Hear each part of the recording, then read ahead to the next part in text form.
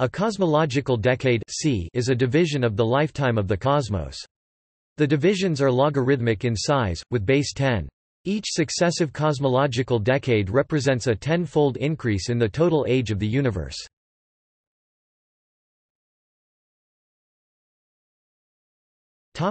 As expressed in log seconds per ecade. When c is measured in log seconds, C1 begins at 10 seconds and lasts 90 seconds until 100 seconds after time zero.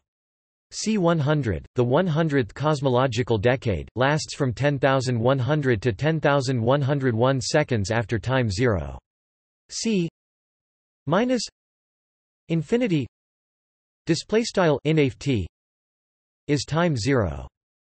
The epoch C-43.2683 was 10-43.2683 seconds, which represents the Planck time since the Big Bang, time zero. There were an infinite number of cosmological decades between the Big Bang and the Planck epoch or any other point in time.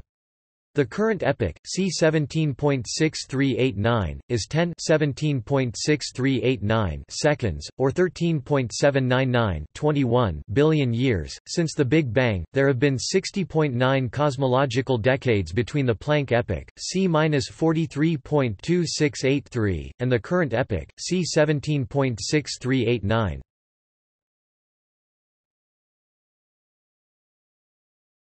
Topic as expressed in log years per ecade.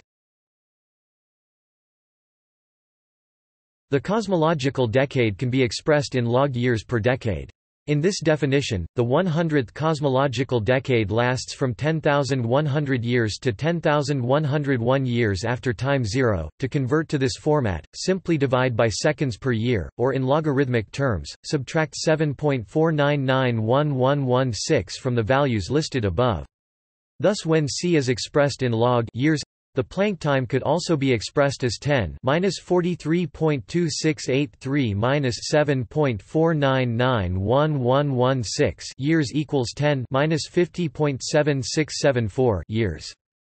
In this definition, the current epoch is c 17.6355 minus 7.4991116, or c 10.1364.